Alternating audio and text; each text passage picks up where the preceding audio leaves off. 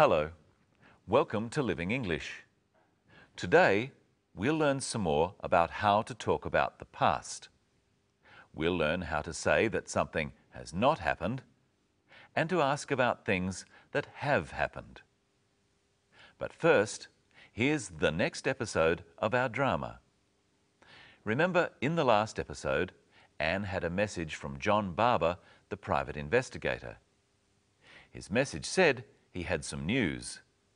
Today, Anne has gone to see John.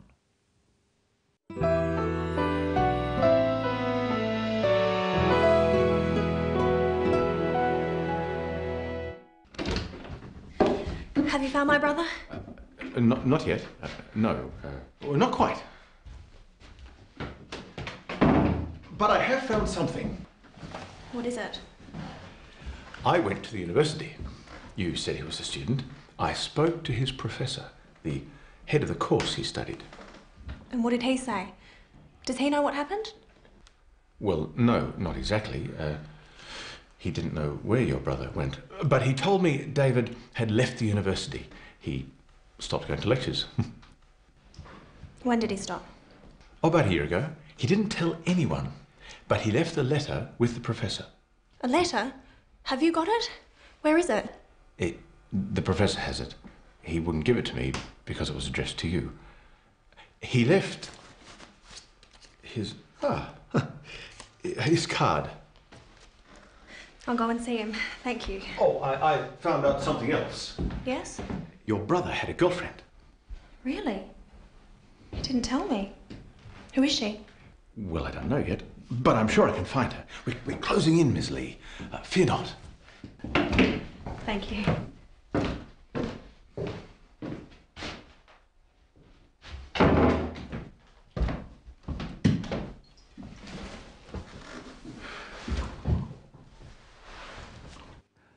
I'm sure they'll find Anne's brother in the future. Today, we're going to talk about the past. To talk about the past, we use words of action called verbs. See if you can hear the five verbs John uses to talk about past actions. I went to the university. You said he was a student. I spoke to his professor, the head of the course he studied. The five verbs used to show that the past is being talked about are went, said, was, spoke, and studied. We've looked at the past tense before on Living English. One way of changing verbs so that they refer to the past is to add a d sound, spelled ed. Study becomes studied. Notice that with words that end with a y, the y is changed to an i when id is added.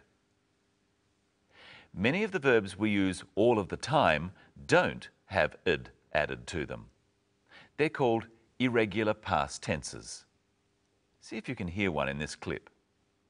I spoke to his professor. Spoke. I'm speaking to you now, and I spoke to you before about irregular past tenses. Practice saying it with the clip. I spoke to his professor. Some irregular verbs have a past tense that is very different from the present tense, such as the verb go. To talk about the future, we say that we will go somewhere. And to talk about now, we say that we are going somewhere. What do we say about the past? Listen. I went to the university. John went to the university. The past tense of go is went. Now listen for the past tense of say. Said he was a student. Said is the past tense of say. There are other ways of talking about the past where the verb doesn't change. Listen to Anne asking about the past without using the past tense of say. And what did he say? She uses the word did. What did he say? Did is the past tense of do.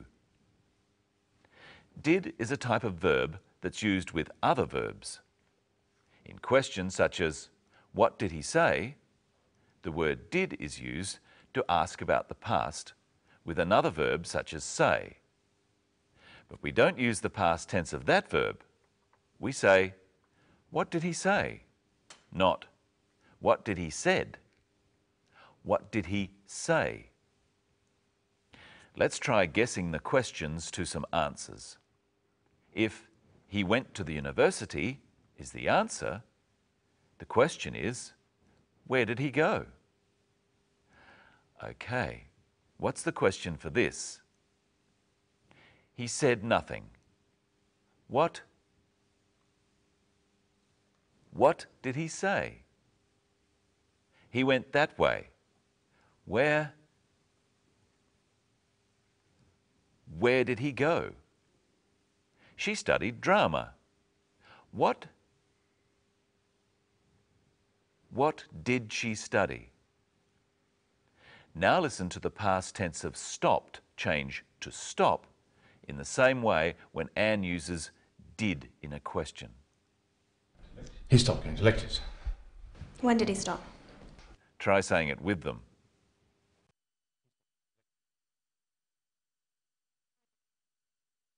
He stopped going to lectures.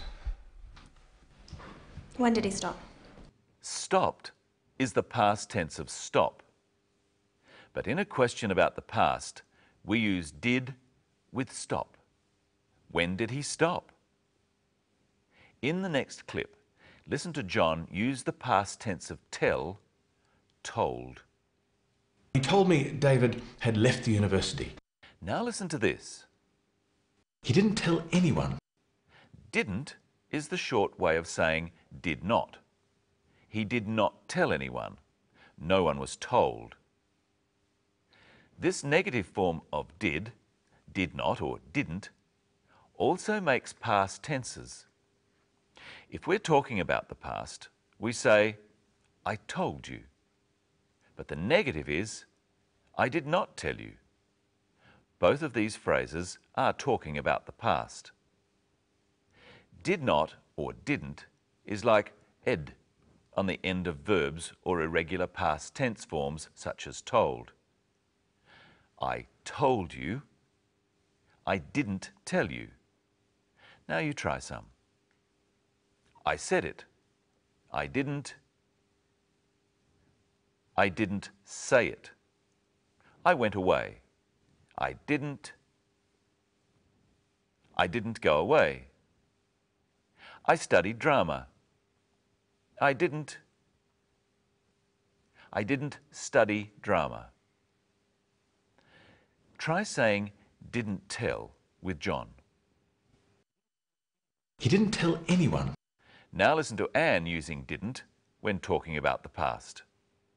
Your brother had a girlfriend. Really? He didn't tell me.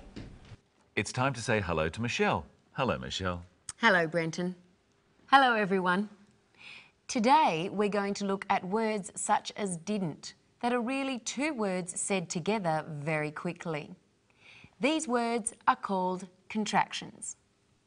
Listen carefully to what John says when Anne asks him who her brother's girlfriend is. Well, I don't know yet, but I'm sure I can find her. There were two contractions in that clip. What were they, Brenton? Don't and I'm. Don't is short for do not, and I'm is the contraction of I am. Let's listen in the next clip for the contraction of did not. He didn't know where your brother went. What's the contraction of did not? Didn't. Try saying it with the clip.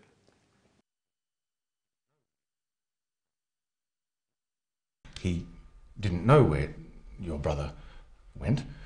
Now listen for the contraction of would not. He wouldn't give it to me because it was addressed to you. What's the contraction of would not? Wouldn't. Now it's your turn. What's the contraction of could not? Couldn't. What's the contraction of does not? Doesn't. What's the contraction of was not? Wasn't.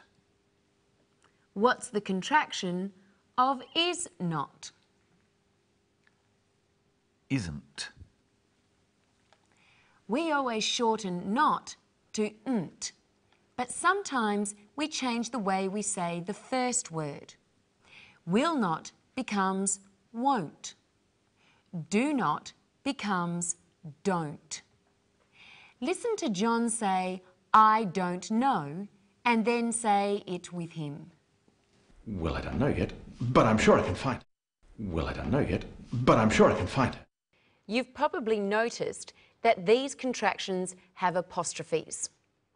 Now, Brenton, the contraction of I am is I'm. Where do you put the apostrophe? Well, that's easy. Between the I and the M. What's the apostrophe for? To show that a sound is missing. I am, I'm. The at sound is missing. Now listen for two more contractions. He wouldn't give it to me because it was addressed to you. The two contractions are wouldn't and its.